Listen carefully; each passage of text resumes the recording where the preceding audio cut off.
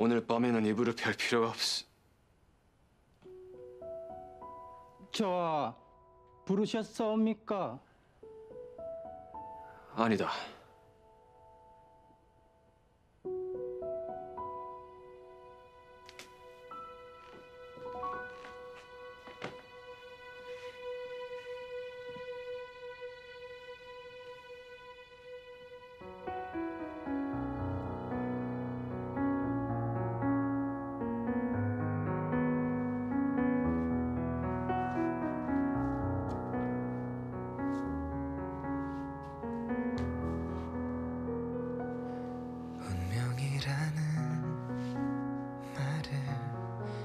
이제서야 느낀 거야.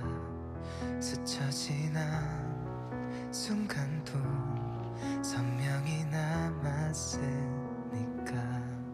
너의 작은 행동들이 사소한 조각이 되어 비로소 널 마주한 건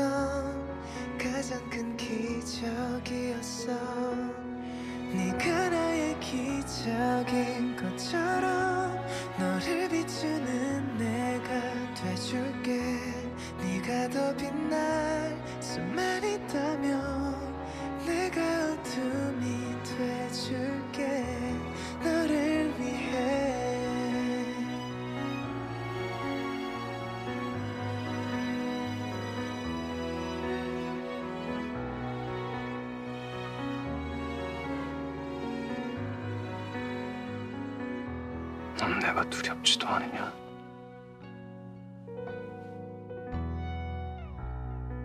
무슨 짓을 당할 줄 알고 겁도 없이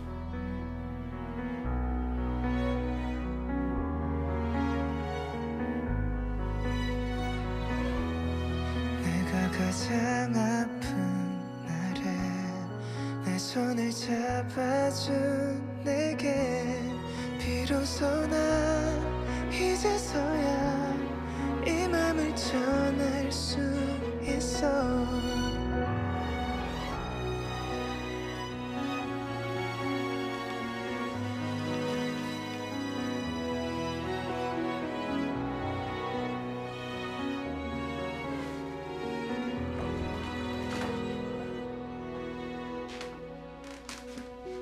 저에게 예, 저. 이곳을 지키고 안에 아무도 들이지 마라.